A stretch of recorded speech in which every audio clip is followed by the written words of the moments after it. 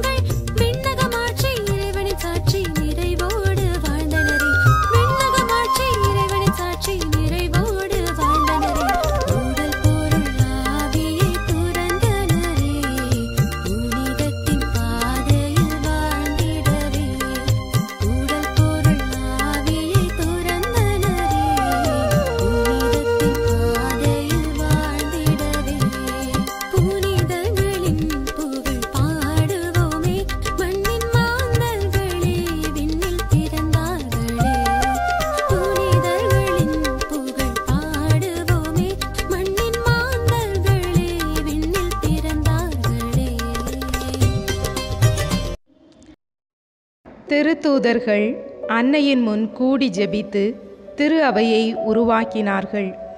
அதுபோலவே நம் ஏழு புனித தந்தையர்களும் அன்னையை மாதிரியாக கொண்டு திரு அவையோடு இணைந்து பணி செய்ய நம் சபையை உருவாக்கினார்கள்.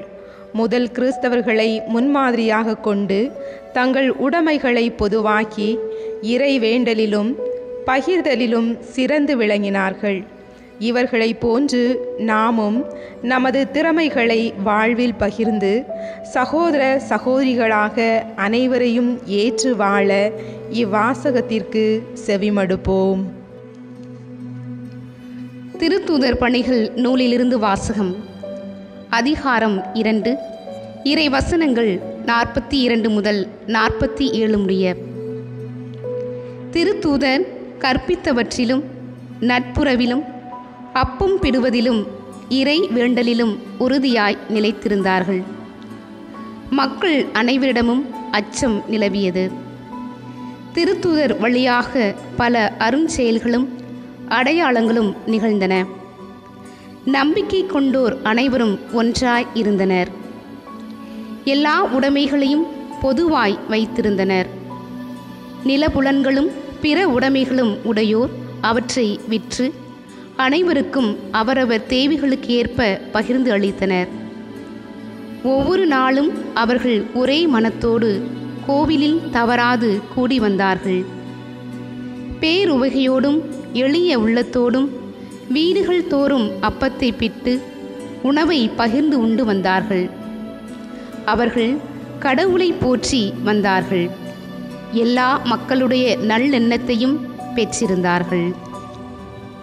ஆண்டவரின் அருள்வாக்கு இறைவா உமக்கு நன்றி. அன்பின் இறைவா எம் தாய் திரு அவையை வழிநடத்தும் திருத்தந்தை ஆயர்கள் குருக்கள் இருபால் துறவியர் ஆகிய அனைவரும் இறைவனில் இணைந்து நற்செய்தியின் அறிவுரையை செயலாக்கி வாழ்வில் முழுமை பெற உள்ளத்தில் ஆவல் கொண்டவர்களாய் வாழ்ந்திட வேண்டுமென்று எம் ஏழு புனிதர்கள் வழியாக உம்மை மன்றாடுகிறோம். கரம் ஏந்தி வரம் வேண்டினோ உம் அருள் தாரும் ஆண்டவரே. துறவு வாழ்வின் துவக்கத்திலேயே குழுவாக தெரிந்து கொள்ளப்பட்டு ஆதி கிறிஸ்தவர்களைப் போல் ஒரே உள்ளமும் ஒரே உயிரும் கொண்டு ஒருமனப்பட்டு வாழ்ந்த ஏழு புனிதர்களுக்கு நன்றி கூறியும். தொடர்ந்து இப்பணியை ஆற்ற பல இளைஞர்கள் இளம்பெண்கள் ஆர்வம் கொண்டவர்களாய் வாழ வேண்டுமென்று எம் ஏழு புனிதர்கள் வழியாக இறைவா உமை மன்றாடுகின்றோம். கரம் ஏந்தி வரம் வேண்டி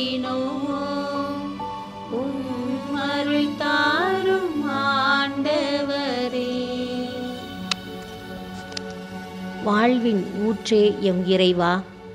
எம் நாட்டை ஆளும் தலைவர்கள் தங்களது சுயநலத்தை விடுத்து பிறரது வாழ்வின் வளர்ச்சிக்கும் முன்னேற்றத்திற்கும் தங்களையே அர்ப்பணித்து மக்களின் வாழ்வுக்கு ஒளியூட்டும் கருவிகளாக துணை புரிய வேண்டுமென்று எம் ஏழு புனிதர்கள் வழியாக உம்மை மன்றாடுகிறோம்.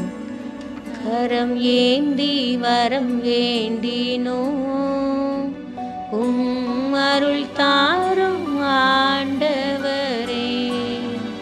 தாயும் தந்தையுமான எம் அன்பு இறைவா மரியின் ஊழியர் சபையை சேர்ந்த அருள் தந்தையர்கள் அருட்சகோதரர்கள் அருட்சகோதரிகள் என ஒவ்வொருவரையும் உம் பாதம் அர்ப்பணிக்கின்றோம். இவர்கள் ஒவ்வொருவரும் எம் ஏழு புனிதர்களைப் போல ஜெபத்திலும் தவத்திலும் இறைவனோடு நேரத்தை செலவழித்து வாழ்ந்திட தேவையான அருளை பொழிந்தருள வேண்டுமென்று எம் ஏழு புனிதர்கள் வழியாக இறைவா உம்மை மன்றாடுகின்றோம். கரம் ஏந்தி வரம் வேண்டினோ உம் அருள் தாரும் ஆண்டவரே. வாழ்வின் ஊற்றே எம் அன்பு இறைவா. எம் சபையில் வாழ்ந்து மறித்த அனைத்து அருட்தந்தையர்கள் மற்றும் அருட்சகோதரிகள் உபகாரிகள் நண்பர்கள் இவர்களின் ஆன்மா நித்திய இலைப்பாற்றியை அடையவும் புனிதர்களின் கூட்டத்தில் இவர்கள் பங்கு பெற வேண்டும் என்று எம் ஏழு புனிதர்கள் வழியாக உமை மன்றாடுகிறோம். கரம் ஏந்தி வரம் வேண்டினோ உம் அருள் தாரும் ஆண்ட சகோதர சகோதரிகள் ஒன்றுபட்டு வாழ்வது எத்துணை நன்று எத்துணை இனியது. மூ ஒரு இறைவா எம் ஏழு புனிதர்கள் அன்னை மரியாவின் மேல் ஆழ்ந்த அன்பு கொண்டிருந்தார்கள். தங்களது இறைபக்தியின் வழியாக மக்களை உம்பால் ஈர்த்து கொண்டு சேர்த்தார்கள். நாங்களும் உமது அன்பை அனைவருக்கும் பறைசாற்ற அதே ஆழ்ந்த அன்பினால் எங்களையும் தூண்டியருளும். ஆண்டவர் நம்மை ஆசிர்வதித்து நம்மையும் நம்மை சார்ந்தவர்களையும் நிறைவாக ஆசிர்வதித்து வழிநடத்துவாராக. ஆமேன். மரியும் ஊழியத்தாள் பணிந்தோம் மனமாற நன்றிகள் கூறுகின்றோம். பணி செய்ய அழைத்தாய் துணையாக வருவாய். வழி நடத்திடும் அம்மா எம்மை வழி நடத்திடும் அம்மா.